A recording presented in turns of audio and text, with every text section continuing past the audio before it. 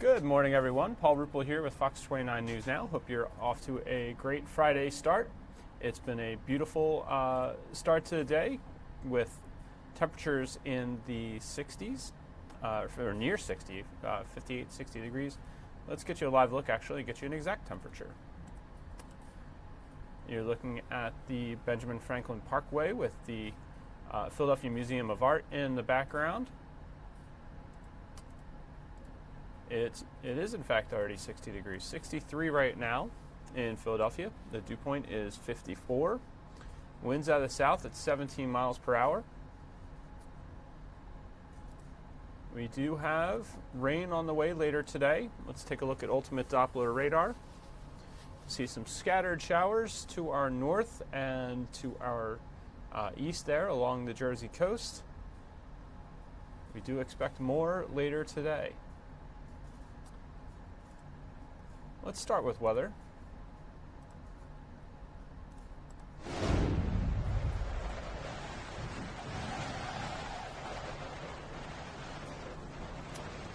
Another live look outside our studios at 4th and Market in Old City.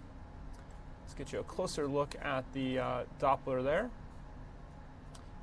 Over the last three hours, you see we did have some rain falling, uh, especially near the city and into New Jersey, but some of that is dissipated right now. Your current temperatures, just like yesterday, a lot of green, 65 uh, in the city. Uh, 60s for much of the map, 50s down to, to our south and east.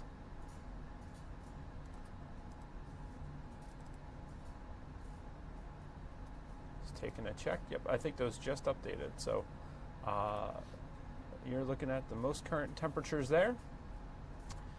Your northeast temperatures. Interesting, it's only 54 in Ocean City, Maryland, probably because it's closer to the coast, maybe getting some of that uh, breeze off the ocean, cooling things a bit. Uh, but then you've got 68 in Baltimore, 68 in Charlottesville. It's uh, in the 50s and 40s up in New England right now. 47 in Cleveland, 43 in Toronto as well. Your U.S. temperatures, we do seem to be the uh, the warmest spots along the east there. Uh, 77 in Miami, 75 in Tampa. You get 50s and 60s as you get as west as New Orleans and Atlanta and Knoxville uh, and Houston, but a lot of 40s and 30s, 20s and teens over the rest of the U.S. It feels 16 degrees warmer right now than it did at this hour yesterday, so quite a bit warm. We're going to come back to uh, weather in a little bit. We're going to take you live to this is a news conference being held by Congresswoman Madeleine Dean of Montgomery County.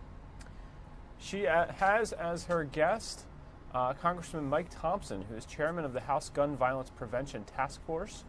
Uh, they're speaking on the steps of the Montgomery County Courthouse in Norristown, Pennsylvania and they're going to be joined by state and government officials, uh, state and local government officials, to talk about gun violence prevention.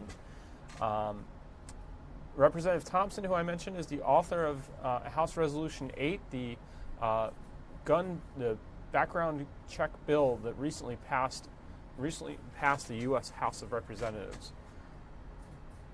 Uh, we'll also have some gun, uh, gun violence prevention advocates and community members here to discuss this. So looks like they may still be setting up. Uh, let's actually, we'll finish up weather here. I showed you the temperature change. Here come your wind speeds. Right now it's 17 in the city, 17 miles per hour, 28 in Dover. So not much in the way of a wind chill right now. We do have some gusts there you see 36 mile an hour gusts in Dover right now, 20s in some other places.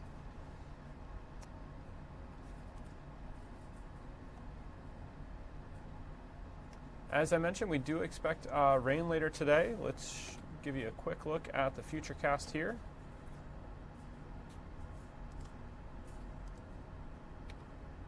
There's your rain. Still with us for the evening rush.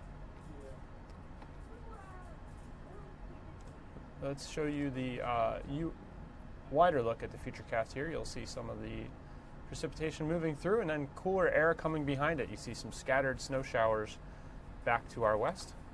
Here's your seven day forecast from the Weather Authority. On and off rain today, 66 for a high. Calling it a 6 on our forecast by the numbers. Rain knocking it down a little. Saturday, breezy and chilly, 49. Looks like a 7 on our forecast by the numbers. Sunday, a 7 as well. Sunny and chilly, 45. Monday, sunny, chilly, 46. Tuesday, sunny, chilly, 45. A little bit of a theme there. Spring comes Wednesday, sunny and milder, 52. And then Thursday, sunny and nice, 56. Coolest we go on that seven day stretch looks to be about 29 degrees, which is always a nice thing to hear in March. Came in like a lion as predicted, but starting to settle into that lamb a little bit. All right, let's get you out to uh, Congresswoman Madeleine Dean and the uh, folks that she has gathered for a news conference here.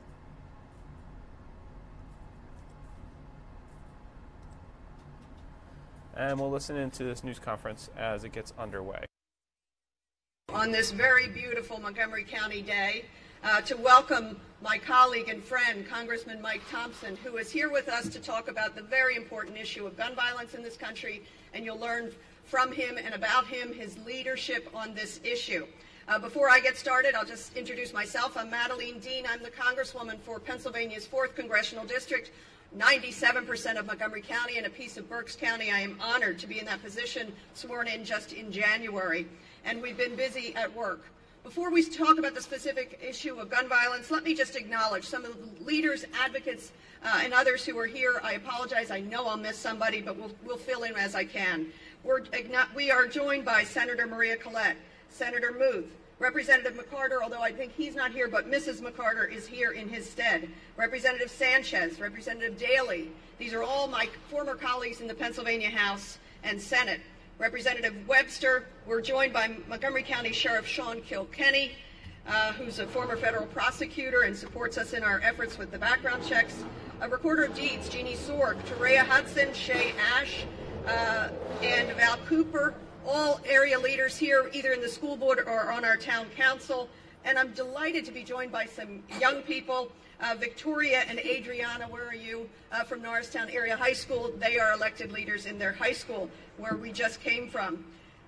We're here to talk about a difficult subject the American gun violence epidemic.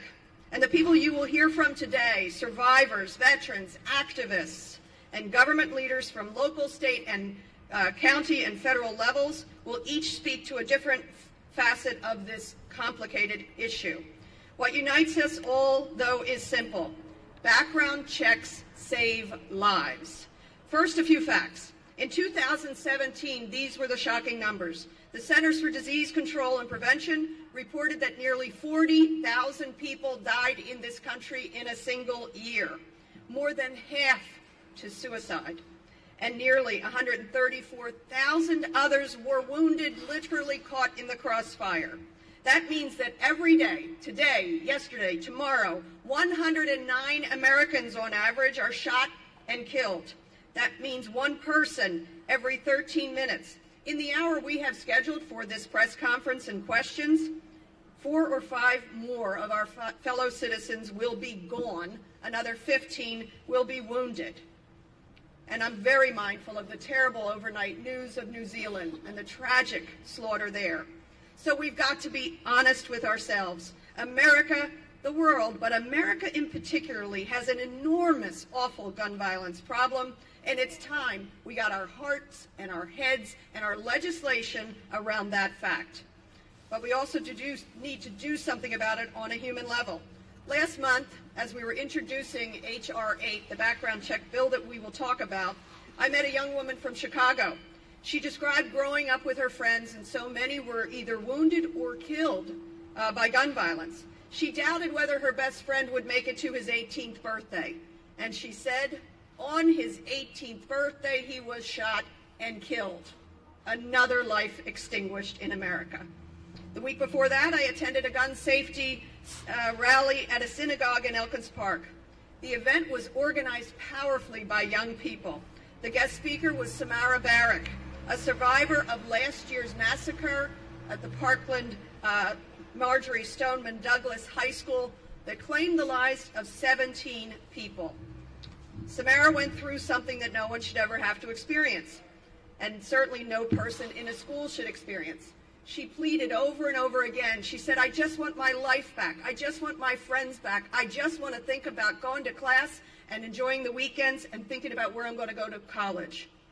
That same conviction motivates me to get involved in gun violence prevention.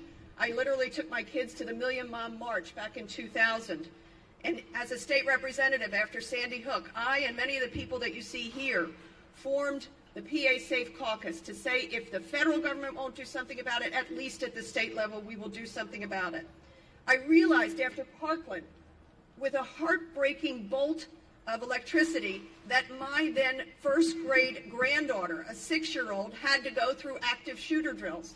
What is wrong in this country that we ask more of our children than we do of gun manufacturers? Something's very wrong. But some things are changing, and that's what we're here to talk about. We just passed, two weeks ago, we just passed a bill written by my colleague and friend, uh, Mike Thompson, H.R. 8.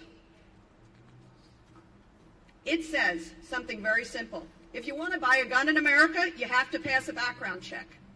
That sounds obvious. I agree it is. And 96% of Americans agree. 83% of gun owners recognize the need for and the validity of background checks. We also passed a second bill the very next day, uh, and that would show, close the Charleston loophole. If you remember, in that shooting, Dylann Roof applied for a gun, did not pass the background check, and under federal law, if in three days they cannot get clarity, the licensed firearm dealer has the ability, the right to sell that gun. Dylann Roof bought the gun on day three. On day five, he was denied. They got clarity. He was a prohibited purchaser. Too late, he had his hands on the gun. We passed the Charleston loophole bill in the House the very next day.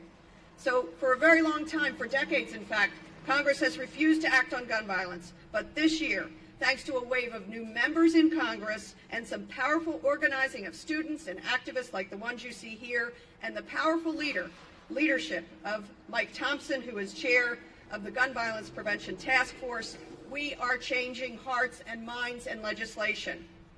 So, without further ado, I want to introduce my friend, uh, somebody that I look up to for his leadership in our Congress. He's here with us today. He literally could have gone home to Napa and relaxed with your family a little earlier this weekend, but he said, No, I will travel with you by train yesterday, have dinner with me last night. We just spoke to uh, about 600 students at Norristown Area High School who are engaged and care deeply about this issue. He is the chairman of the Gun Violence Prevention Task Force. It is his bill, H.R. 8, uh, that we passed. I thank you for traveling. Let's give a very big Montgomery County welcome to Congressman Mike Thompson.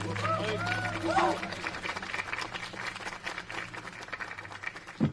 Madeleine, thank you very, very much for that nice introduction. I think I want to bring you to California and have you talk that way about me in my district. what an honor it is to be here. And what an honor it is for me to serve with this incredibly wonderful member of Congress that you sent to Washington, D.C. She is fantastic. And you know, when I knew she was going to win, and I, I looked at the work she had done uh, as a member of the state legislature here, I was enthused. I knew that she would bring a, a whole new effort and a whole new enthusiasm to Washington on this issue of gun violence prevention, and boy, was I right. For 26 years, no major gun violence prevention legislation passed out of the House Committee on the Judiciary. She's there a couple of months, passed. Yeah, passed. it must have been. Yeah. And, and she talked about the wave of new members who brought this new commitment to Washington. She's at the tip of the spear in that new class. And what a pleasure it was to watch her, with her expertise on this issue, uh, speak on this matter in that committee. You were instrumental. You did a fantastic job, and I'm really glad you're there. Uh, I can tell you that my friends in Washington are glad you sent her there. Make sure she keeps coming back because uh, she's going to be able to do some really good things that are important to all of us. The bill that we're talking about is background checks. Over 90% of the American people support it. Gun owners support it. NRA members support it. I'm a gun owner. I believe strongly in the Second Amendment. And I believe even stronger in the fact that we need to ensure that we keep guns out of the hands of people who shouldn't have them. And how can you do that if you don't do a background check? It's pretty simple. If you're a criminal, if you're dangerously mentally ill, you don't get a gun. And how can you prevent that from happening if you don't first do a background check? Sadly, all states don't have the same laws under which uh, they operate. The federal law says that if you buy a gun from a federally licensed gun dealer, you have to pass a background check. Some states, Pennsylvania one, California one, have even stricter laws, uh, and appropriately so. But many states, their only law is the federal minimum. So someone can walk into a licensed dealer, try and buy a gun, be turned down because they're prohibited, walk out of the door, go to a gun show, or go online and buy the same gun with no background check. That's wrong. You know it. The American people know it. The Judiciary Committee certainly knew it. They passed the bill. And the House of Representatives knew it because we passed the bill there too. It works. It saves lives. Every day, 70 felons are stopped from buying a gun at a licensed dealer because of the background check. Every day, 50 domestic abusers are stopped from buying a gun at a federally licensed dealer because of the background check. Why in the world would you allow them to turn around, walk out the door, go to a gun show, or go online and buy the same gun? It doesn't make sense. This bill is appropriate. This bill is constitutional. It doesn't infringe on anybody's rights, and it's not going to be the gateway to taking everybody's guns away. It's going to make sure that people who shouldn't have guns don't get guns. It's one step closer to keeping our communities safe. So students don't have to do active shooter drills. So first responders, cops and firefighters don't have to worry about getting shot. I'm the father of a first the father of two first responders, a firefighter and a police officer. And when my deputy sheriff's son goes out, I want to make sure that uh, he's as safe as he can be. It's already a dangerous job. We don't need people who are criminals running around with uh, with guns, terrorizing our communities, our school, or our, our, our, public service members. So thank you all for being here. Uh, thank you for all that you're doing. And we need to see this bill passed by the Senate and signed into law. Thank you. Thank you, Mike. Again, thank you for coming here. Thank you for your leadership on this bill.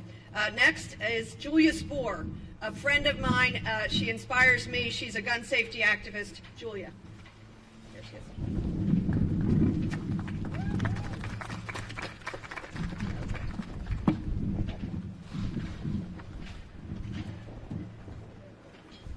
My name is Julia Spohr. I'm 17 and I live in Jenkintown, Pennsylvania.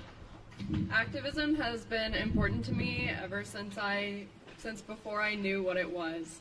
In elementary school, my local news channel visited my front yard in Seminole Heights in Tampa, Florida, uh, as I held a lemonade stand and that sent 100% of profits to tsunami relief overseas. When my father committed gun suicide 10 days before my eighth birthday, I changed forever the thought that kept going through my head was I don't want anyone else to feel this way. I don't want any other children to lose their parents this way. So that's what I'm fighting for. Some fellow youth activists and I co founded Students Demand Action for Gun Sense in America a little over a year ago. Within weeks, we had tens of thousands of members and groups popping up all over the country. Today, we have over 70,000 members nationwide and over 200 groups in high schools and colleges across the country. Students Demand Action is fighting for gun safety laws.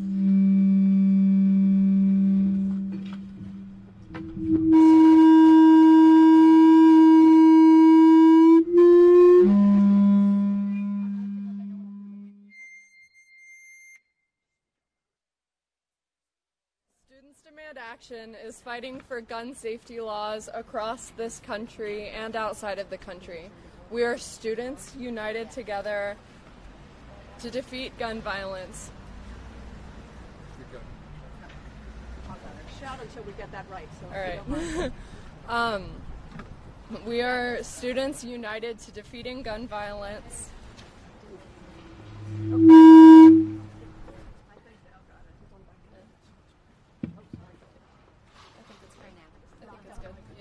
Yeah. Um, but our generation is overlooked and incredibly important. I'm not old enough to vote yet, but I will be very soon, and I do intend on running for office someday. My voice. My voice and the voices of those in my generation are incredibly important, and we will be changing things. Thank you. Thank you, Julia. Now we're he- we'll hear from Julia's mom, another friend and important activist, Jennifer Luger. Uh, she joined Moms Demand Action in 2015 and has been working in our community uh, and inspiring a lot of people like me. Jennifer.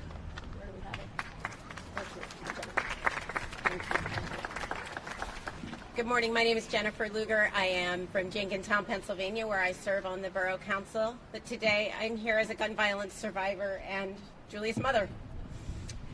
The first time my husband attempted suicide in January 2009, he was hospitalized for a few days until the crisis passed, and we were sent home with a worksheet that said, Get help. And oh, if there's a gun in the house, hide it. Um, this came totally out of the blue. I was not prepared. I had no idea what to do. And I drove to Office Depot with my heart racing and my hands shaking to buy a little lockbox because my husband did own a handgun and I wanted to lock it away. Had there been any kind of support by law enforcement, if there was a way to judicially get that thing out of the house, I would have left on it. A couple of months later, he was doing well. We were going to our family's um, home in the mountains of North Carolina where he liked to practice target shooting. He begged me to get his gun back. He just wanted to feel normal. He was doing great. He wanted to shoot at milk jugs. It was fun. So I gave in. Um, a few months after that, he used that handgun to end his life. On September 25th, 2010, he drove away from our home and I was able to alert law enforcement. So, surrounded by police, he ended his life in his car. And that day, I had to go home and tell my daughter, who was seven years old, that her father was gone. Since then, I have worked to put my family back together and to make sure that doesn't happen to anyone else. And right now, I think we're at a tipping point. Thanks to Representatives Thompson and Dean, we have HR 8, which would assure universal background checks. Thanks to our wonderful state legislators, I see a bunch of them here Senator Collett, Senator Muth, Representative elect Johnson Harrell. This year, we're going to pass an extreme risk, risk protection order in Pennsylvania, following in the steps of 13 other states that already have the legislation. We estimate that it would save 100 Pennsylvanians' lives from suicide each year. And that may not sound like a lot, but we know that 20 people are traumatized from every suicide, so it would make a real difference. We are at a tipping point. This isn't a simple problem, and it doesn't have a simple solution, but thanks to bit by bit, by law by law, we are making a difference, and we're going to change this. Thank you. And next, I'm pleased to introduce uh, the chair of the Montgomery County Board of Commissioners, Dr. Valerie Arkush. Good morning. It's a pleasure to be here with all of you today. I want to welcome Representative Thompson and thank Representative Dean for her incredible leadership as our new representative to Congress. I stand here with you today wearing two hats. Uh, first, that as chair of our Montgomery County Board of Commissioners and elected official, but also as a physician, an anesthesiologist who worked in level one trauma centers around our region and know firsthand that we are in the midst of a public health crisis. H.R. 8, the Background Checks Act of 2019, is the most sweeping federal gun control measure to make it out of the House in decades. It will require background checks for all firearm sales in the country, even private exchanges. Closing that loophole would shut down an invisible market in which weapons change hands freely between friends and strangers with little oversight. Last year alone, 46, 46 of our friends and neighbors in Montgomery County were victims of firearm deaths. And 32 of those deaths, 32 of 46, or 70%, were death by suicide. I think that we can all agree that we need to work harder to ensure that those considering suicide should not have easy access to a firearm because firearms are the most common way that our Montgomery County friends and relatives die by suicide. And our data shows that if a firearm is not readily available, these individuals do not find another way. So this is a critical public health measure. Just as importantly, each of our children has the right to feel safe in their own schools. Parents should not have to worry when they drop their child off at the bus in the morning if they're going to see that child come home at the end of the day. And nor should any person have to worry that their place of worship is anything more than a safe and welcoming place for prayer and reflection. This morning I called the Imam of our local North Penn Mosque to express my deep consol- condolences and support for the incredible tragic loss of life in New Zealand yesterday in other mosques on the other side of the world. Gun violence is indisputably an issue of health, where science and evidence must guide the cure. We need to emphasize violence prevention and conflict resolution training for our community officials and professionals. And I personally call on the U.S. Senate to take up H.R. 8 and pass H.R. 8. There is no vote scheduled, as far as I know, but there should be.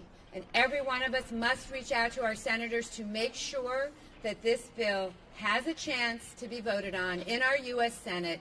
And let's see where our senators stand. I, for one, fully support this bill and will do everything I can to see its passage. Thank you. And alongside uh, uh, Dr. Arkush as our chair, Commissioner Ken Lawrence, uh, her governing partner, uh, is here to lend his voice uh, to the background check bill. Congressman Thompson, welcome. Uh, thank you for your leadership on this issue. Mad, you've been working on this for years in the State House and have actually taught me a lot about it as well. And it's wonderful to see you go to D.C. and start making things happen. I'm really here as a father, uh, a father of two boys who have had active shooter drills at their high school. And after Parkland, my son asked me what I was going to do. And I said, well, it's, it's not a county issue. Uh, it's a state issue. It's a, it's a federal issue. And he said, well, isn't that just a cop out, Dad? And it was a cop out.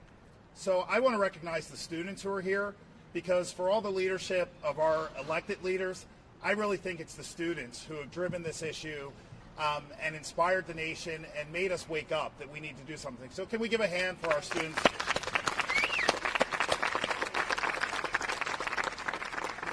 Just this week here in Montgomery County, there was a case prosecuted by our district attorney, Kevin Steele, where there was a man in the parking lot at a gun show selling guns illegally. And they sent undercover agents up to, to negotiate the purchase of the guns. And the agent said, I can't pass a background check. So the person just raised the price of the guns. Said, you can't pass, well, well you, you have to pay $50 more. And then when the agents approached him to arrest him, he actually drew a gun on those agents and cocked it.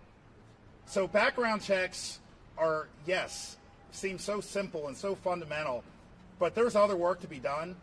Um, and I'm proud that we have a House of Representatives that is doing that work. I'm proud that we have new representatives in the State House and the State Senate who will do this work. And we will do everything we can here at the county level to support you and to support our students and to save lives. Thank you. And next, a tireless advocate for gun sense in Pennsylvania, Ceasefire's, uh, Ceasefire PA's Executive Director, Shira Goodman. Thank you, Congresswoman Dean. I'm so honored to be here. Worked with you when you were my state representative and now my congresswoman. And Congressman Thompson, thank you for coming uh, to our county and for your tireless leadership. I just want to make a couple remarks. I woke up today to the news in New Zealand and I was furious. And I know I don't lobby in New Zealand. I, I'm not in charge of that. But every time we make a step forward, it seems we go backwards. And people in mosques and synagogues and churches and schools and bars and concerts and parking lots, walking home, wherever they live, are always in the right place at the right time.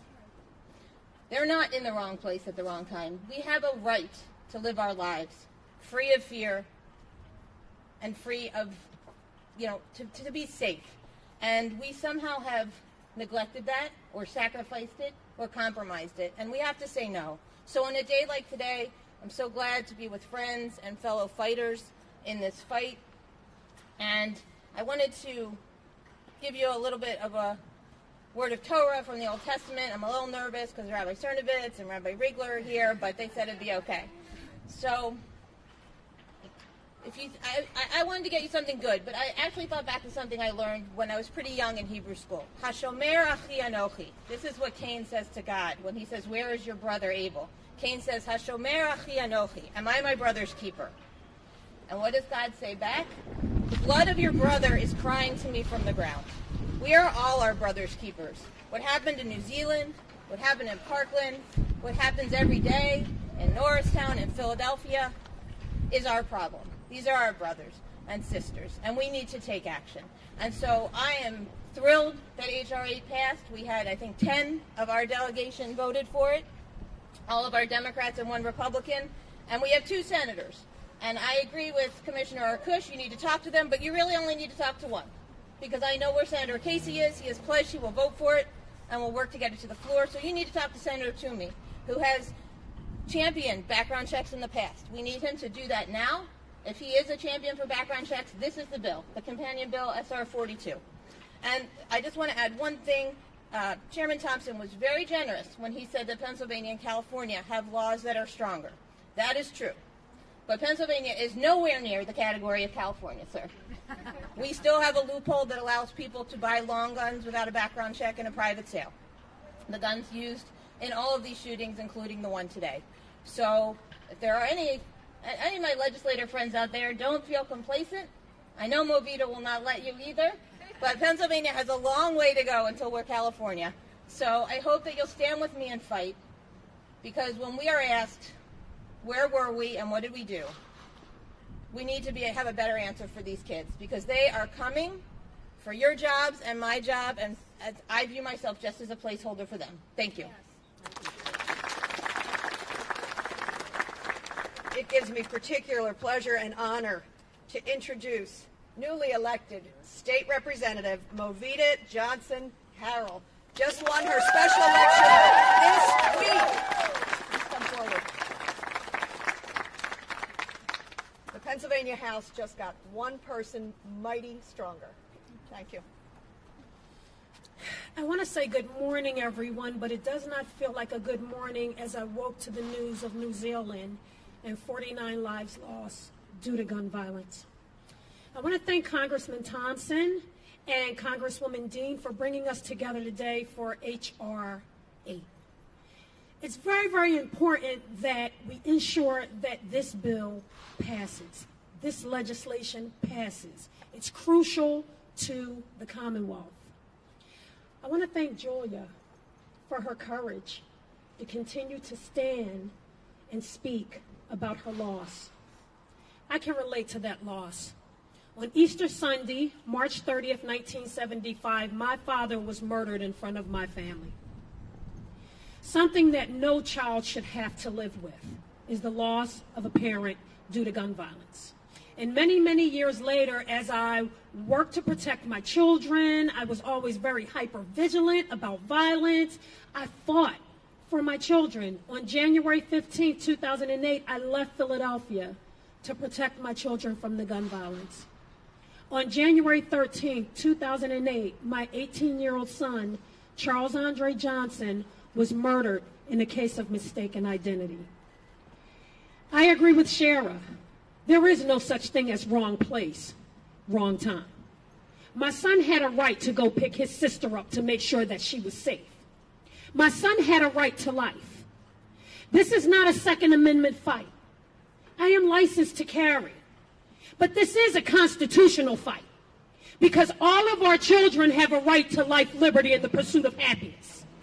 Everyone that lives in Pennsylvania has a right to life, liberty, and the pursuit of happiness, and the Second Amendment and the greedy gun lobby does not supersede that right. So as we stand today, and as we mourn for New Zealand, and as our legislature becomes stronger and stronger in the fight against gun violence, we ask you, Senator Toomey, join this side of the line. There is a line drawn, and the line is between life and death. There is no middle ground anymore. You have to choose a side. And the side that you choose should be for the citizens of Pennsylvania.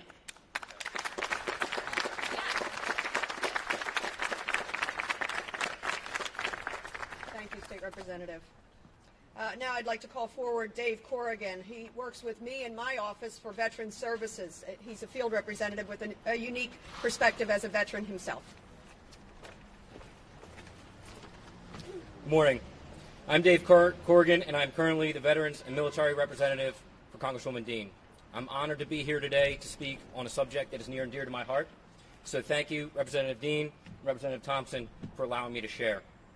I would like to discuss a part of H.R. 8, Amendment 45, which is Congresswoman Dean's amendment, which clarifies that the exemption to the background check would apply to persons who are at risk of committing suicide. And as you know, the rate of suicide among military members and veterans is real and it is devastating. I served five years in the Marine Corps, and during that time, I served with a multitude of Marines and sailors who have committed suicide, attempted suicide, or had suicidal ideations. Military service members and veterans are among the largest groups that hunt, collect firearms, and target shoot. But even some of the most well trained gun owners in America sometimes find themselves at a period of crisis where they're deciding whether to turn the weapons on themselves to end their pain. The good news is the stigmas about coming for help are dissipating. And if a veteran or a military member, or anyone for that matter, wants to transfer their weapons to somebody else for their own safety, we owe it to them to honor that request without having to break the law in the process. The last unit I was attached to, in Representative Thompson's home state of California, was in charge of caring for wounded, ill, and injured Marines and preparing them to return to service or return to post service life. Fortunately, the prevalence of combat wounds has decreased significantly in the past couple of years. But invisible wounds have taken the front seat of the patients there. While I was there, we had a number of Marines either attempt suicide or have suicidal ideations who own firearms in their homes. And as the, preve- the suicide prevention program officer, I was in charge of having the written procedures on what to do if something like this occurs. Um, and it happened a number of times. But caring for someone in crisis is a lot more personal than that.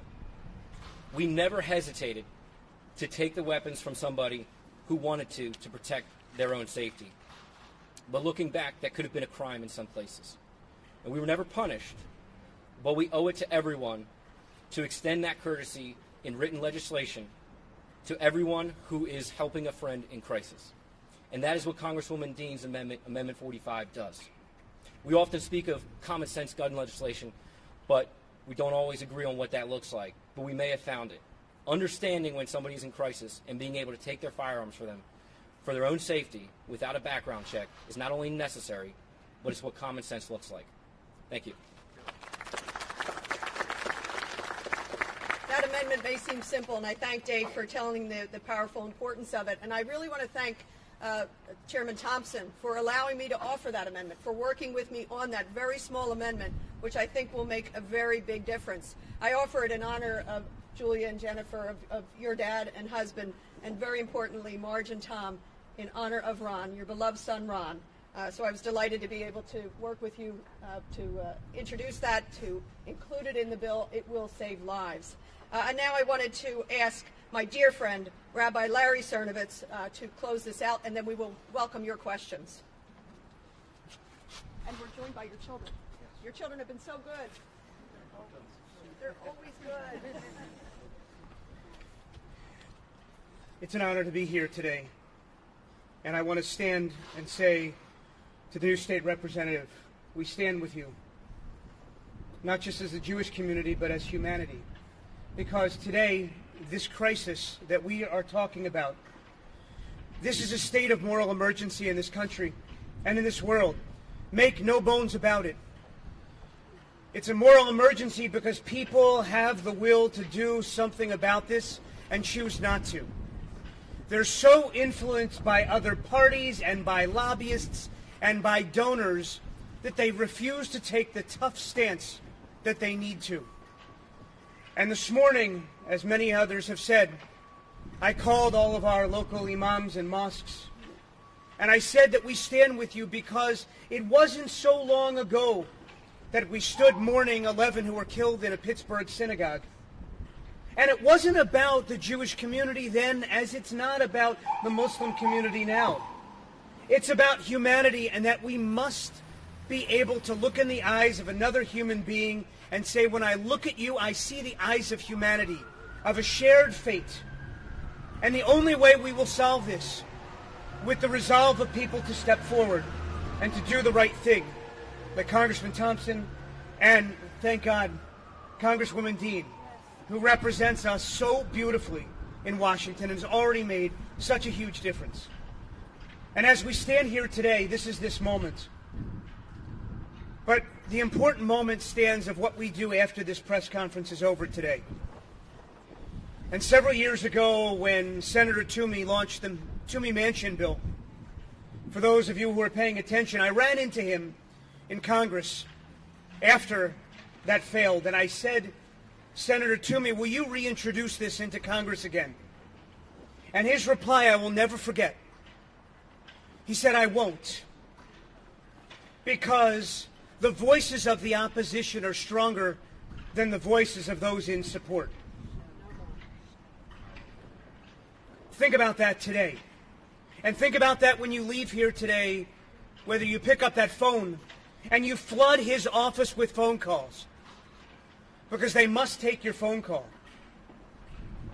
Let them know that the voices of the people of the Commonwealth of Pennsylvania will make note of what you do to protect our children and to protect this country against what is nothing less than a national emergency in our country, a real national emergency.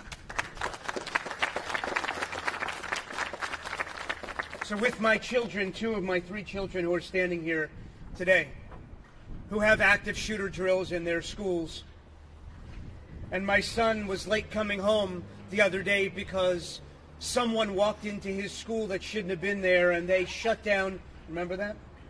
They shut down the entire school until they could make sure everything was safe. No more in America. This is the land of the free and the home of the brave. Let's be brave. Let's do this, and may God give us the courage and strength to do what's right now, because as our children and our grandchildren will ask us one day, where were we? As Cain said earlier, where were we when we had the opportunity to do something and we stood by idly while our neighbor bleeds? Let's stand up today and let's make a difference today. Thank you.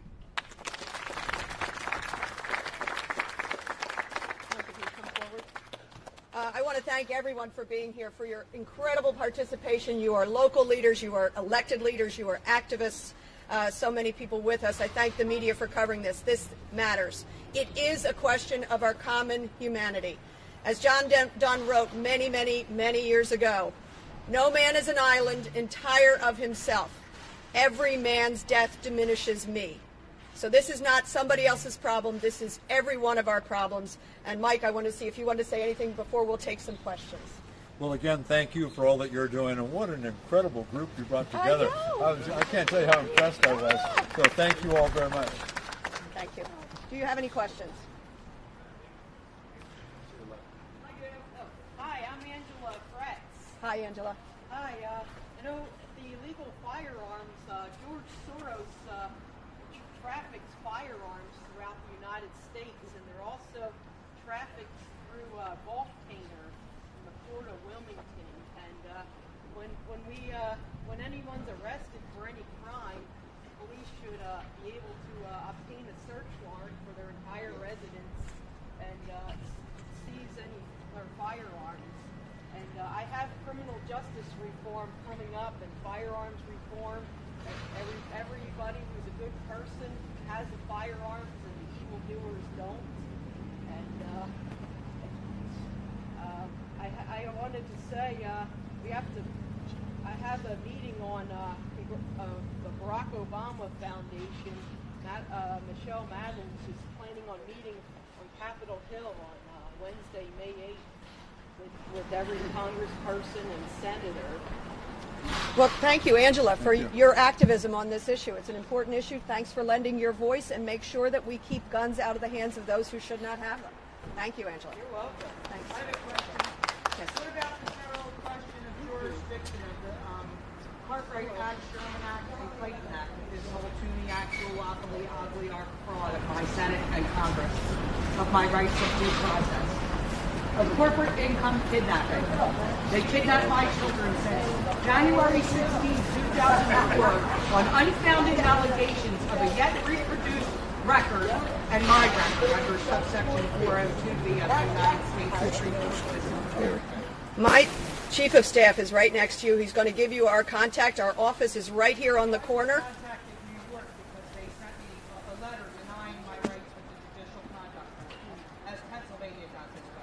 I'd invite you to come and talk with us, and we'll see it, it- what ways we can help you. Well, I am the paper trail, and it is under color of law, fraud, and this collusive, collaborative, lateral, unilateral, vertical.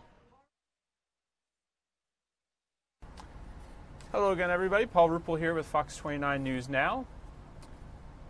Hope you're having a great start to your Friday. You've been watching a uh, gun violence prevention news conference on the steps of the Montgomery County Courthouse in Norristown, PA. Uh, Congresswoman Madeleine Dean has been leading this. Uh, she's been joined by Congressman Mike Thompson of California, who I'm told wrote the uh, bill. She was talking about wrote the bill that recently passed the House.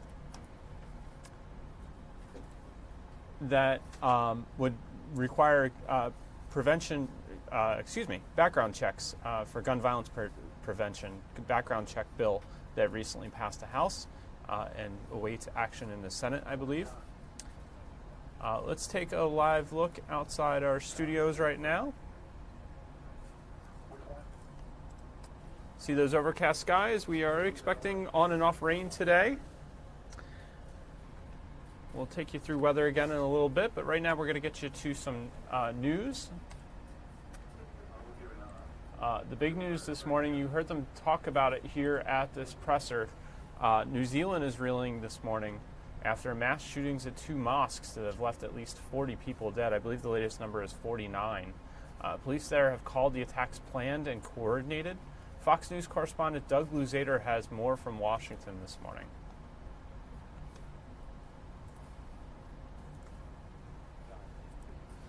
Attacks at two mosques in New Zealand, not far from one another. Police there say one man has already been charged with murder, and there are indications that the gunman may have live streamed the attacks. A massive police response in New Zealand as one ambulance after another rushed victims to hospitals. Some made it out alive, but so many did not. Survivors of the attacks described the mayhem and the gunman. After that, uh, he go the inside and he go one by one, everybody killing and uh, some people died. And then everybody just run to the back doors just to save themselves. Beyond the guns, police say they found a vehicle with two improvised explosive devices that did not detonate. The human toll here has been staggering, and New Zealand's Prime Minister did not hold back. This is one of New Zealand's darkest days.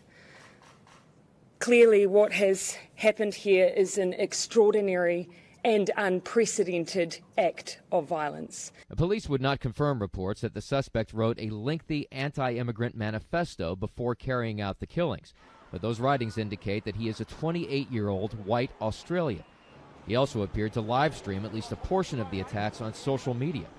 There are indications that this may have been a one man operation, but nothing is being ruled out.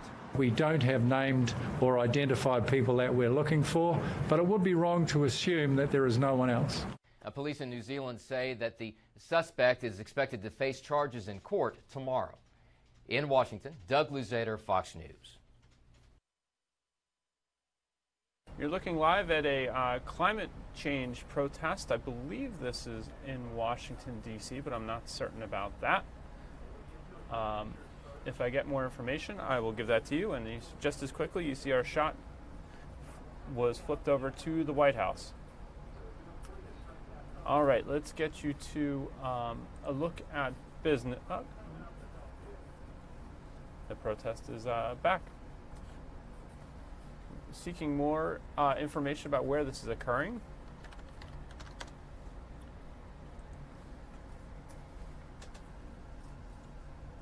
But in the meantime, let's get you to uh, some local news. Uh, back here at home, police in Trenton are investigating an officer involved shooting that happened overnight. Our Steve Keeley was at the scene this morning with more. 10 11 o'clock last night, uh, we heard some shots. The latest deadly police shooting in this country happened here in New Jersey's capital city, Trenton just six weeks after New Jersey's Governor Murphy signed a new law shifting all fatal police shooting investigations to the state attorney general and away from the local county prosecutors. 16 bullet holes show at least that many shots were fired here through the front door and the front porch window next to it. Chalk outlines out on the sidewalk where the bullet shells landed. At this home, five doors down from Route 1's overpass on busy Olden Avenue where neighbors say they heard the sound of the gunfire at 10:30 last night. All we heard was the shot, multiple shots, must have been 10, 12, 14 shots. And when I hear that, boom, boom, boom, I run by, by uh, the other room. Entonces, para mí estaba muerto porque cuando quedan vivos, cuando quedan vivos. Neighbors on both sides of the shooting scene say a young couple just moved in at the start of March two weeks ago. And yesterday, during the daytime, hours before the shooting at night, police were here for a domestic dispute and then helped the young woman safely leave here. But then something made police return at 10 o'clock and then feel the need to use deadly force. One next door neighbor described the man as a heavy drinker because he saw him bring in lots of alcoholic beverages and have lots of empty alcoholic bottles and cans in the recycling. All the neighbors we met told us they only heard the shots, that they did not see what happened beforehand, what may have led up to the shooting, whether the man shot had fired a gun or had a weapon himself. Just the aftermath when police took the young man shot outside to the sidewalk, bleeding badly from the head. When they put him on the ground, they didn't try any life saving measures, the neighbors told us, and he didn't appear to be breathing. One officer was taken to the hospital.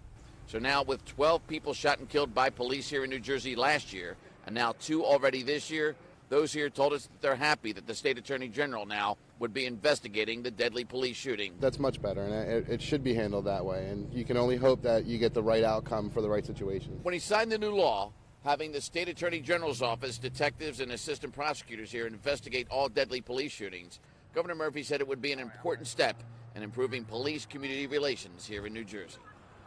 In Trenton, Steve Keeley, Fox 29 News. Thank you to Steve for that report. Um, also, in our area, a man who police believe has been preying on young men and boys since 2017 uh, has resurfaced. Uh, Sabina Kuriakose has this report from North Philadelphia this morning.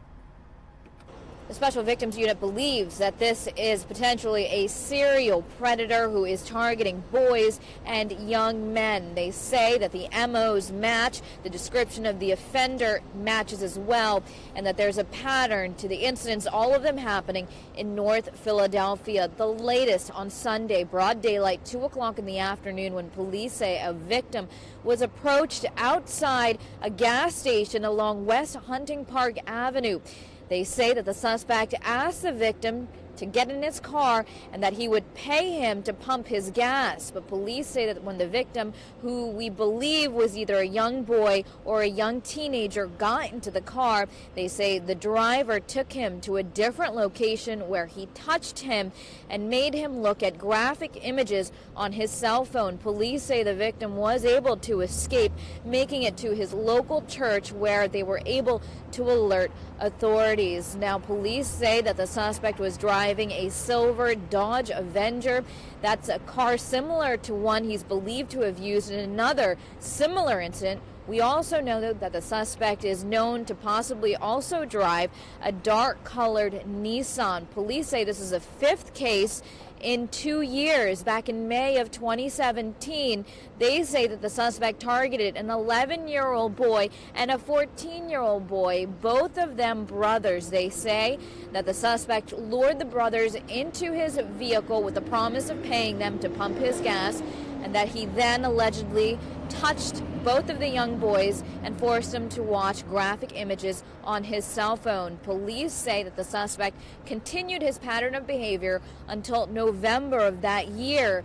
After more than a year without incident, this Sunday case now has the case back on the top of SVU's checklist. They want to get this suspect off the streets. They're very concerned. They say that he is striking again. His description is that of a 30 year old male, heavy set with crooked teeth. Police don't have a license plate on either of those vehicles. They're asking for parents and children throughout North Philadelphia to stay vigilant. And if you notice anybody acting suspiciously, to call investigators on West Hunting Park Avenue in North Philadelphia. Sabina Kuriakose, Fox 29 News. Back to you. Thank you, Sabina, for that report. We want to get you to uh, Skyfox right now is over a school. Shot may have frozen there. Let me show you some uh, footage from that moments ago. Uh, this is on the 1800 block of Cottman Avenue. We're told this is Woodrow Wilson Middle School. Uh, the report, and we haven't confirmed this yet. This is uh, uh, we believe this uh, a student may have been found with ammunition in the school, but is in custody, and the school is on lockdown. You see some police vehicles outside the school and in the area. So Skyfox is over the scene there. We'll get you more as it becomes available, but again, we're told the student is in custody and police are there, obviously investigating.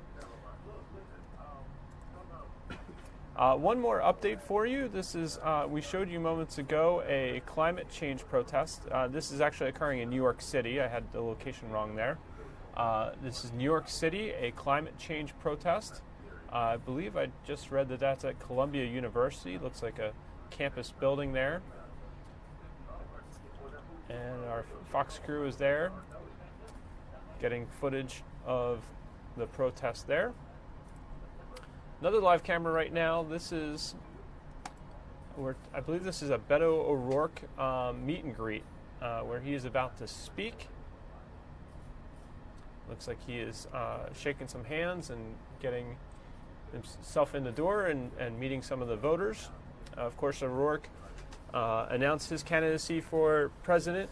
Uh, I believe it was uh, Wednesday night. Word came out that he was uh, going to run, and then on Thursday morning, his campaign released a video.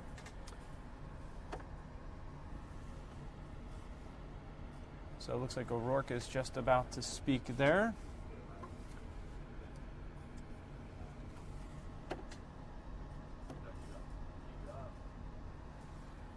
Uh, we will we'll see about maybe getting you back there in a little bit, but want to get you a little bit of news, a little more news this morning. Uh, would you like a four day work week? Uh, some, how some companies are trying to entice potential employers with shorter work weeks. Uh, this is Fox Business Network's Tracee Carrasco has this report for you. Uh, she joined uh, Mike Jerrick and Karen Hepp this morning to talk about it on Good Day Philadelphia. Uh, burger chain Shake Shack, we have one over here in Center City, is testing a four-day work week to attract and retain workers. I guess. Tell us more, Tracee. Where uh, where's the first store that's going to do this? Uh, they're testing this right now in Las Vegas, and if it's something that they can get to work at the Shake Shack restaurants there, it's something that they would definitely consider expanding to all of their restaurants. But they're trying this out because, as you said, they've got to attract and retain their workers in this tight job market. Also, we've got that unemployment rate at its lowest in five decades, so they've got to get creative to uh, do something to lure workers. I think this is something that could definitely work, even though you have those longer hours for those four days that you're working. Three days off, that sounds pretty good. Yeah. Uh, I know we have some shifts here at Fox. They've got that four day work week, three days off. Those are very coveted shifts. The best one I ever has when I was working up there at the network with you, uh, well, even though we didn't get to work together, uh, I did the weekend show, Mm-hmm. and I'd Uh-huh. have like uh, some weeks. I had Monday through Thursday off, And and you- only had to come in on Friday afternoon to get ready for the weekend. I'm not kidding, Tracee. That sounds great. I, I'm going to go talk to someone about that. Well, he's no longer there. But anyway, uh, uh, Thank you, thank Tracee. you. You look fantastic. I love the green. And are you going to the parade Thank on Sunday? you know what? I am not. I think it's on Saturday here. Oh, oh, they, oh think they're doing it Saturday? I thought they were going to do it on Sunday. I'll be darned. Well, have a great weekend and enjoy. Okay. Thanks, you too. Here's a live look at the uh, stock market. Currently down just 17 points, been pretty close to the midline there.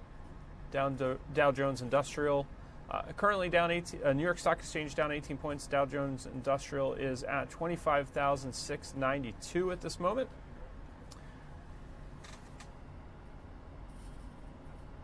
The market is looking to uh, have finished the week with a solid gain and erased last week's decline. Gains for technology and retailers led the opening advance Friday.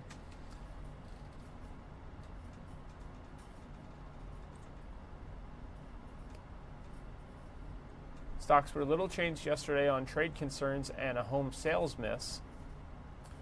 Uh, Thursday's session, the major U.S. averages uh, closed near their starting points after being buoyed by financial and technology company shares, but weighed by weakening industrial company and healthcare company shares. That's according to Fox Business Network.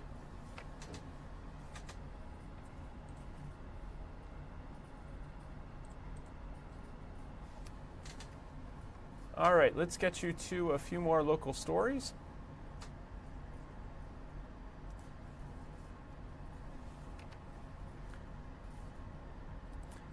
Philadelphia police say a store owner shot and killed a would-be robber in West Philadelphia. It happened around 9 last night on the 5400 block of Wyalusing Avenue. Police say a man wearing a ski mask walked into the food mart with the intention of robbing the place, but officers say the owner shot him in the stomach instead. Uh, the o- store owner's okay, and no word on any charges.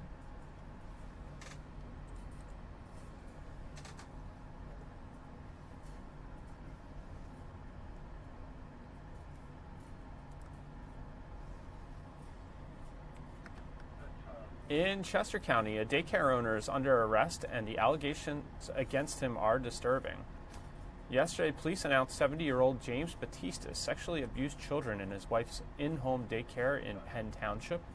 Investigators say so far they know of four victims and have charged Batista with abusing three of them. Two of the victims came forward nearly a decade ago, but no charges were ever filed. Now, investigators are urging potential victims to come forward.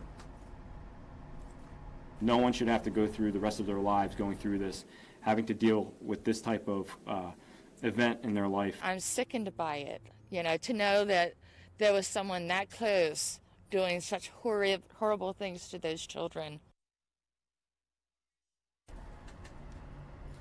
Batista is being held on a half million dollars bond.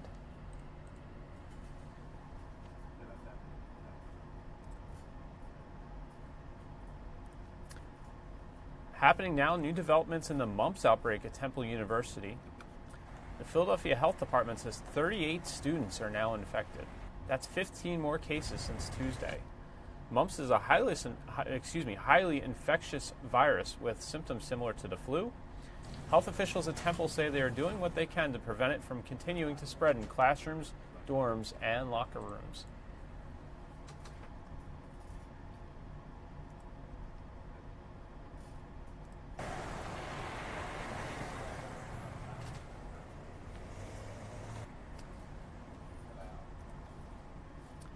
He's the first student athlete with autism to sign a letter of intent with a Division One university, and he joined us on Good Day Philadelphia this morning to uh, discuss his tale. Oh. There we go. Forgot to click into the new. Thanks. I am so excited for this one. Uh, there's a young man who is inspiring so many. He has autism, but it's really about how he works hard and he does whatever he loves to do, and he's especially good at playing basketball. Boy a Division One athlete. 18-year-old Kalin Bennett is the first student athlete with autism to sign a letter of intent with a Division One university.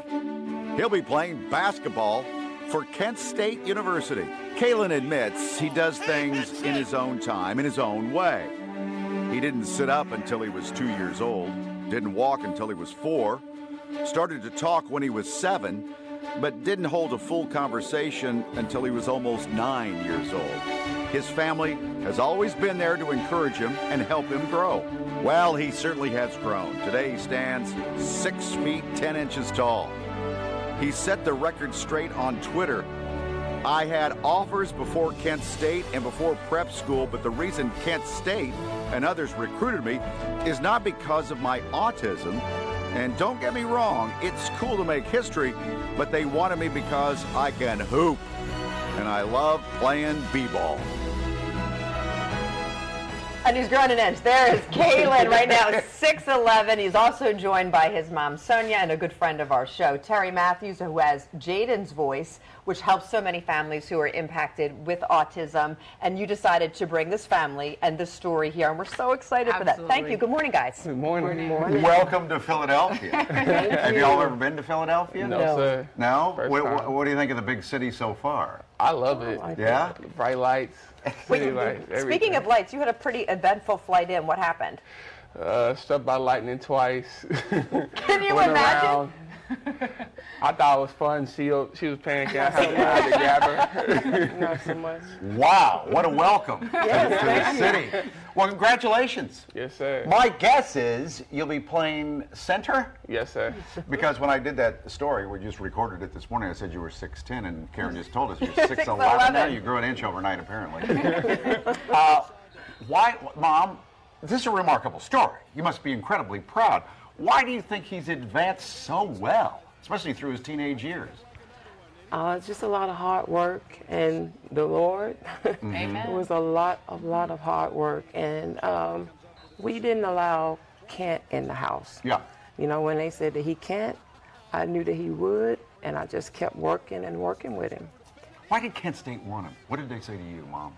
Kent State wanted him because he could hoop. Like, 'cause he- 'cause he played ball. Yes, yes. They didn't know he had autism. Mhm. A lot of the recruits didn't know he had autism. How are you excited? So you took a gap year this year between high school and college. What is going through your mind now when you're getting ready to play and to move to college for next year? Uh, just just be ready, be ready to play as soon as I get there. Be excited because this is a great opportunity. The campus was amazing, coaches are amazing. Just want to get there, and I can't wait to play my first game. Yeah. Does it bother you because we, we've used the word autism now over and over and over again, talking about your story? But you you don't want to be known because of that. You want to be known because you're a good ball player, right? Do you get tired of the autism label, I guess? No, sir, because that's a part of who I am. Mm-hmm. That's a part I am. That's a part of me that I embrace. I embrace everything about myself, and I wouldn't change myself for anything. I love the journey. Goodness gracious, I love you. We all do. Well, Terry, that's why you're here thank today, you. too, is also to talk to so many kids because we have really high rates of so many children here that are affected by autism. So your story, when it broke last year when you signed, I mean, we cried. It was national news all Mhm. over the place. too. What are you going to say to the kids today when you speak at some of our high schools? Never let anybody put you down to a lower standard because you are you decide your future, and the only person who can write the story is you. You you you might not be able to write the beginning, but you can write the future. Now, Terry, you've been here before. Remind everybody who just joining us maybe for the first time. Tell us about Jaden. So Jaden is now 12. Your um, son. Diagnosed, my son, diagnosed with autism, and he spent some time last night with Sonia and Kalin, and uh, it was so cool because they connected on so many different levels. bet. Yeah, and uh, it was interesting because Kalin still knows all about Sonic, so he could talk Jaden's language, Yes. and he just came to life. He was like, "Oh, you're Kalin, high five," you know, and he's like standing around with his clothes backwards, the T-shirt, and Kalin's like, "Oh yeah, we're used to this. Well, this thank is you what for we do." bringing Kalin and his mom to Philadelphia. So where are you going to go today to inspire other kids? So we're headed to Haverford, and we're also going to Martin Luther King. Uh, we want to inspire high school, middle school, and Sonia, his mom, also is a powerhouse as well. So this is a great opportunity for us to encourage families, parents, to remember not to look at what people say your kids can't do, but what God says your kids can do. So we're excited. Kalin, what was like at that moment? I mean, it really was something that we shared all across this country. I mean, we're so proud of you when you find out you get to play at the highest levels. I knew I can from the beginning before I signed. So being able to get that opportunity was a blessing. So I just can't wait to just play basketball against the best. That playing against the best gets you better. We can't wait to watch. So you know it's Mar- March Madness. Selection Sunday is Sunday. Yeah. Here we go. It's the best month of the year, Kalin. Uh, so what is the schedule now? We're in March. Where do you go next? When do you have to show up to Kent State? Uh, June 3rd. I'm, I think I'm right, June 3rd? Yes. And then it's practice, practice, practice all summer. Yes, and then you start in the fall. Yes, sir. Good luck. Thank you. And Mom, you're going too because you are involved. This is your baby, no matter how. He can be seven feet tall, but he is your baby. So you're moving to Kent State too? Yes. Oh, that's great. At his request. Oh. Yeah. That's almost that like a movie. It's like Rodney Dangerfield and The Adventures. I want to see this story. It's a great, great real life drama that's wonderful. We're Yeah. going to make that happen. We want to make sure that he also gets to the Sixers game before he leaves. Oh, They're good. playing against There's one tonight. That's You got what one he wants to go. Sacramento Kings. Do you have He go. tickets? I can get you tickets. Thank you, Mike. Okay. We'll take them from you. Need two? Yeah. Three? Four. Four? And the boys and everybody else. We'll see you tonight at the game. Yes, sir. Okay. That's great. Hope he enjoys the game, and congrats to him on uh, Kalin to, on his uh, acceptance to Kent State, and look forward to seeing him play there. Um, childhood anxiety, the fear is real, and the new research uh, reveals parents may only be making matters worse. The behaviors you need to watch for, and how to help your kids cope. Uh, this is another conversation from Good Day Philadelphia this morning, and we'll let you watch. This got my attention. There was a new study came out of Yale, and it's completely flipping the script on what we do when our kids have anxiety. Here's the big change, guys. It's about the parents. So they say that we as adults can help to make our children manage anxiety by scaling back what we do to accommodate their symptoms. They say, limit that. Don't make too many accommodations. Don't say, oh, it's okay if you don't go to school. So that's highly effective, in fact, it turns out. Dr. Megan Walls is back with us, psychologist at, uh, where are you located in? At Nemours AI DuPont Hospital. Ah, fantastic, uh, down in Delaware. You as a got it. fact. All right, as we look at these full screens that have the physical symptoms of anxiety in our children and emotional symptoms of anxiety in our children, what's changing? So, like we talked about, a lot of this new research is focused on parenting. Mm. Um, and the new study out of Yale came out with this program, and it's called Supportive Parenting for Anxious Childhood Emotions. And what's going on now is a lot of our classic therapy is what we call cognitive behavioral therapy, working directly with the child. And what Yale did is said, well, let's figure out what happens if we can work with the parents. And so the whole premise of this is that they are saying, what parents are doing really matters. How we model, how we react, and sometimes we may Absolutely. be making them more anxious by trying to fix the problems for them. So, what are they telling us to do now instead? So that first of all, that's spot on. So the biggest change here is we're changing parents' behavior instead of kids' behavior, Mhm. and the kids' behavior does follow. Um, but for example, instead of telling a kid they have to stay in their bed if they're nervous about bedtime, we're telling the parent, okay, you're going to make the choice. I'm not going to lay with you tonight. So it's really the parent changing their own actions um, instead of just having the child sort of be the one who's changing the, what they're doing. And then the other piece you said, the modeling is really huge. So we see parents, this isn't uncommon, we all do it as parents, right? Your kid's nervous and you get nervous and now there's a lot of back and forth. And so a big part of this is also having parents be able to talk to their child about things like, I know you're really anxious. I think I thought before you couldn't really handle it letting them stay home from school, right? Um, but now I know you can. And mom's going to take a deep breath and we're going to calm down and I'm going to share some tools and we're going to do it together. Yeah, so we're saying like don't over reassure your child. Sometimes we make Yes. the mistake because you think you want to do that and have their back, Yeah. but really we're sort of crippling them, not making them able to handle the tough situations and fight their own battles. Absolutely. So one of the things we know about anxious kids is the reason they ask the question and need that reassurance is because it feels better. It makes the anxiety go away. And what we know about anxiety, and this is the, I think the biggest take home point is the more we avoid what makes us anxious, the worse it gets. It actually sends a message to our Oh. brain saying, that thing's scary. You didn't do it. It must have been scary. But if you do the thing, your brain says, all right, that wasn't so bad. And so this larger premise, both in CBT, our, our sort of classic treatment, and in this new space, as they call it, treatment, is not being avoidant of those those sort of So symptoms. how do we help our kids to be brave? Sure. Um, and be able to handle the situation. So, in both of these types of approaches, which actually have equal research now, so treating kid does still work, treating parent works. What we know is that if we can encourage our kids to do things that make them anxious really early, that will be better. And it might be in a slow way. So if there's a child who has a lot of bedtime anxiety, you might come back and check every five minutes instead of laying next to them in the bed. But really making sure that you're not giving in every time your child's in distress. You're sort of teaching them it's okay to be nervous. We can still get through this. It'll be totally fine. Which is fantastic. I'm glad you came in and you said this. Now, how do I learn how to do that as a parent? Sure. So one of the things I actually tell parents is the first thing is when your kid is feeling anxious, don't say the words, you don't have to do that. That's a big one. So instead say, how can I help you do that?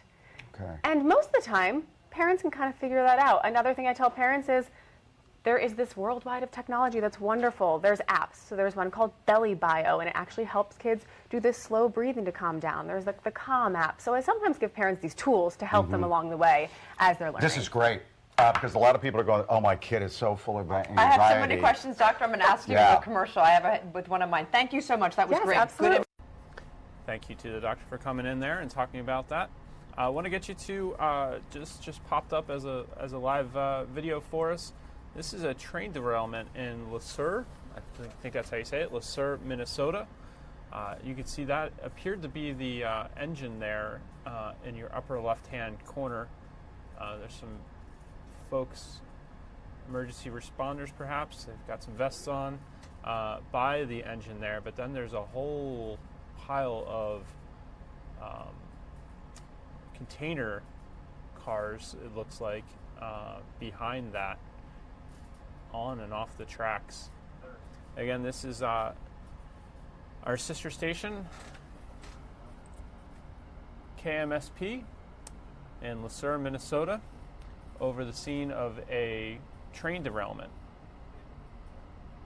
We'll hang with this for a second until uh, they come around and you get a wider appreciation for uh, what's happening here. No word on any injuries. I'll look to see if I can find some information about that.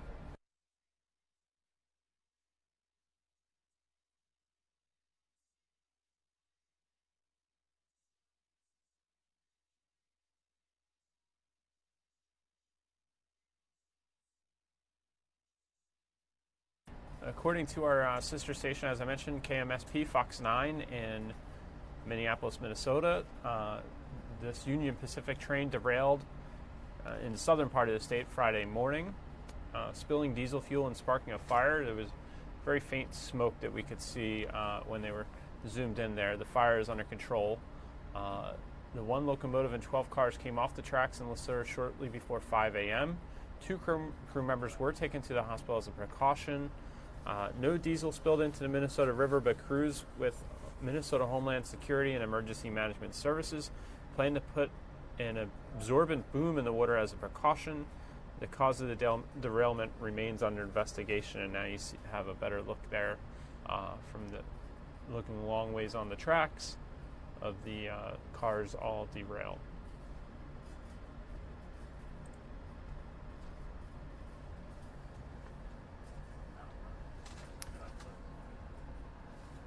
Former Congressman Beto O'Rourke is uh, talking at a meet and greet as he begins his launches his 2020 campaign. To get information on uh, this is in Mount Pleasant, Iowa. Let's listen in for a little bit to uh, what the Cong- former congressman and uh, candidate for Texas Senate is telling the audience there. Of dollars. So asking everyone to pay their fair share, deciding what we really want to do here in this country and around the world. That $21 trillion debt was accumulated in part by wars that were started almost 20 years ago that we are still fighting, rebuilding countries that we invaded, while infrastructure needs await us here in this country. When it comes to climate change, again, I would argue that is the challenge of our lifetime, perhaps the challenge of human existence. I want to make sure that we are up to this challenge. And that's going to mean not just government programs, which, which it must. It's also going to mean market incentives and bringing forth innovation that can only come from the greatest capitalist economy on the planet right now. So ensuring that there is a true price on carbon, ensuring that there is real investment in renewable energy technologies, ensuring that we do our best to capture the carbon that's in the air, whether it's protecting the wild lands and forests that we have right now, whether it is replanting where we can. All of those steps will have to be taken at once. And one of the reasons that I really like the way that the Green New Deal is proposed. And the frame of that is it shows that all these things are interconnected. You cannot affect the kind of change you have in this country without also affecting significant economic change. And to my point earlier about having a political democracy connected to an economic democracy, the benefits of those economic changes have to accrue to everyone, not just concentrated in the hands of some. Last thing, we were just in West Burlington, and a woman stood up and she said, you know, on climate change, you know, maybe, maybe not Beto, but whatever the truth is, I don't want to be asked to pay the full price here in my family. I'm struggling right now to make ends meet. And she's really got a point. I don't know what the number is, but somebody on my team is going to get it to me. There's a staggering number of coal fired plants coming online every single week in China. India, one of the biggest growing polluters on the planet. This is a moment for our global leadership. The United States, as wonderful a country as we are, will not be able to do this alone, but the United States, perhaps alone, can bring the other countries of the world around to do this. Right now, we are alone as the only country not signing the Paris Climate Accords. We need to turn that around completely and take the leadership on this issue. Thank you for your time.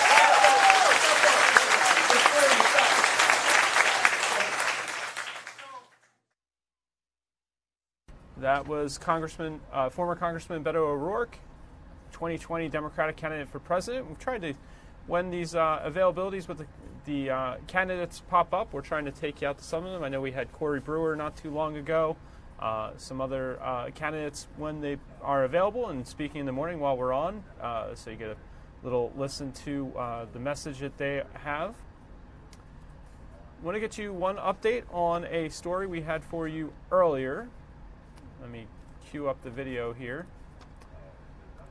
Uh, we now have confirmed information from police. Uh, this is at Woodrow Wilson Middle School at 10:07 a.m. It was placed on lockdown by school police due to a juvenile male bringing in three live rounds into the school. That's three round li- live rounds, I believe, of ammunition. Police are still searching for a gun. Uh, they have a canine uh, on location, and they do have that uh, juvenile in custody. But again, Woodrow Wilson Middle School uh, was placed on lockdown this morning shortly after 10 a.m. There you see some police arriving at the scene. Let's give you one more look at weather conditions. Here is your latest ultimate Doppler. Again, we do expect rain in the area later today. Let's see if we can give you a little future cast here. Here is the national futurecast. You can see some of that rain move in and through. Looks like a lot of it develops off the coast, um, but we do we are calling for uh, on and off rain today. Let me get you a closer future cast. You can see some of that rain later Maybe perhaps a little bit after the evening rush could be heavy in South Jersey down at the shore points. Uh, but then it's moving out. Some colder air moving in behind it. Here again is your seven day forecast from the Fox 29 Weather Authority. So gave this on air this morning.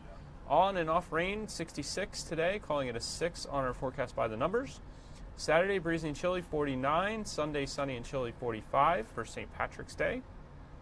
We'll be uh, re-airing the parade that we broadcast last Sunday for you on our air on Fox 29 Sunday. Monday, sunny and chilly, 46. Tuesday, sunny and chilly, 45. Sunny and milder for Wednesday when spring begins. 52 for a high. Nice way to start. Sunny and nice, 56 on Thursday. Again, uh, the low temperature point it looks like during this stretch will be 29. So we're staying mostly above freezing. Nighttime temperatures around the freezing point, maybe a little bit below, but um, daytime temps in the 40s, 50s, and 60s. So that's nice to see. Quick check of the stock market looks like uh, stocks have gone up about 100 points, up about a little more than a third of a percentage point. New York Stock Exchange currently up 97 points. Dow Jones Industrial 25,808.